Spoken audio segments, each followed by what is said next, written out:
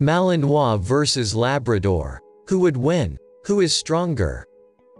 The Malinois, also known as the Belgian Shepherd, is a rather large, strong and hardy breed, which is distinguished by a muscular body and flexibility. Malinois is an ideal herding, guard and police dog. This shepherd dog is valued for its endurance and hard work. They have a lean, strong body, and the physique of these dogs is muscular, harmonious and proportionate with a pronounced chest. Also, in addition to strength, this breed is distinguished by a sharp mind, lends itself well to training and is ready to protect both itself and its owner at the cost of its life. By nature, the Belgian is complex, but not aggressive. An adult Malinois is about 2 feet tall and weighs about 66 pounds.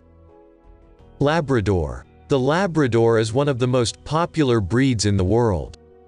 The owners claim that this is an incredible dog with an impeccable character. The maximum height of the Labrador breed at the Withers is just under 2 feet, and the weight is 77 pounds.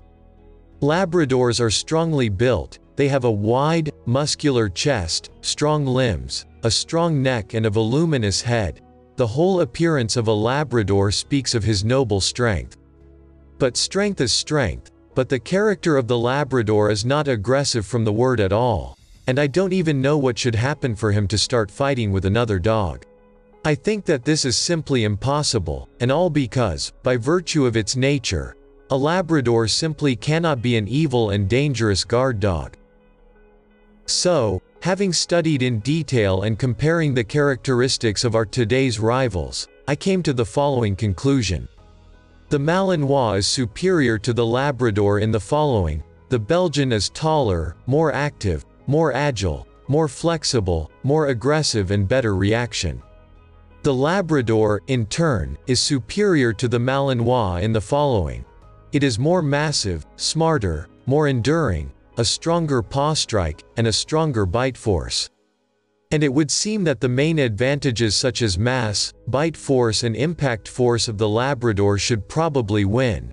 But as I said earlier, the Labrador is too kind and he lacks character to win, and therefore I think that in Malinois will win this fight.